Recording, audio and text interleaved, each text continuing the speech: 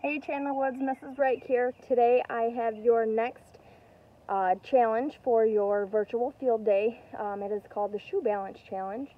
What you will need is a tennis shoe um, and you will need a timer um, with one minute on it.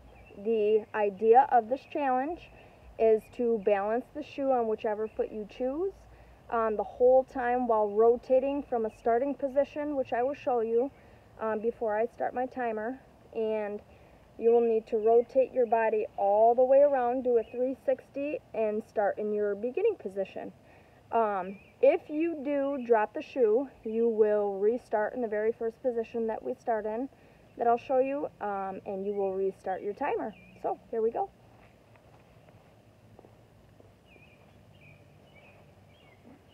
My timer. This is your starting position. And here we go.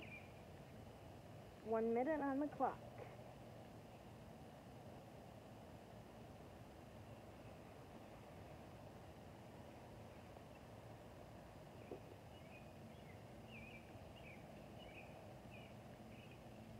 Ta-da!